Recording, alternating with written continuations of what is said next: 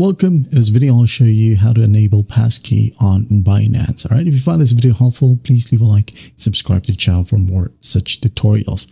And by the way, if you haven't signed up for a Binance account yet, or even if you do, just click the link in the description below or at the comments for you to earn an exclusive lifetime 20% fee discount and $100 bonus. Okay.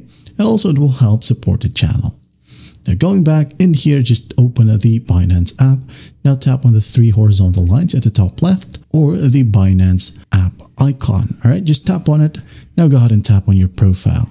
Okay. In here, just tap on security. Okay, before you don't have to tap on your profile, just go straight ahead to uh, the settings section and you'll find security. In here or in the new updated Binance app, you'll have to tap on your profile. Okay. And here, as you can see, we have passkeys or biometrics. Okay. So just tap on it. Now, as you can see here, I already have mine. Okay. Now, if you want to, you can go ahead and tap on add passkey. Passkey. And here we have a little uh, biometric session. So just go ahead and follow simple prompts. Okay. It needs my phone key right here. So I'm just going to go ahead and add it. Wait for it. Now in here, as you can see, I already have one.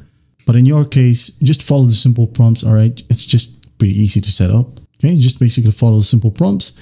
And once done, your passkey will be available. And the next time you log into Binance, you could always choose just passkey as it will be easier. Okay, well, I hope this video helps and I'll see you in the next one.